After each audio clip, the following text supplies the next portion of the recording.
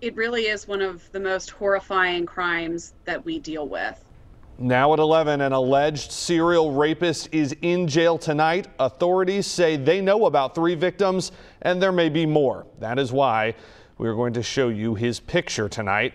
Police say 30 year old Adonis Hicks attacked the women at gunpoint. WCPO 9 News reporter Jake Ryle talked with authorities about this long case. Adonis Hicks is being held here at the Hamilton County Jail on six counts of rape involving three alleged victims. Now the Hamilton County Prosecutor's Office is worried there could be more.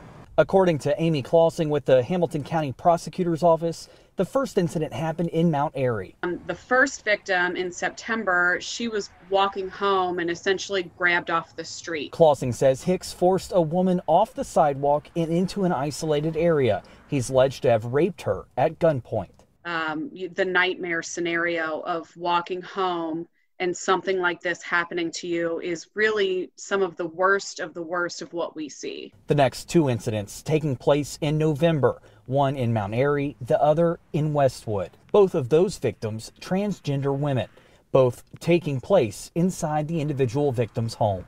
I'm not really sure. Um, ex- exactly the nature of how they met online. I asked Clausing if there could be other victims. It seems to be a flurry of activity within a few months. Um, all three victims happening so close. Obviously, we're concerned somebody's out there that we haven't heard from, that you know it hasn't felt confident coming forward.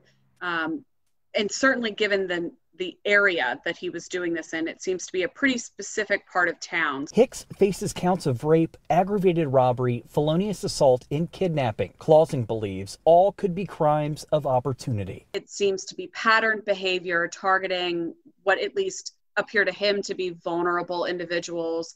Um, and certainly on the night that they came upon him, they were in vulnerable positions.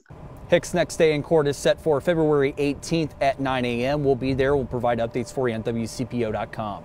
For now, reporting in downtown, Jake Ryle, WCPO 9 News.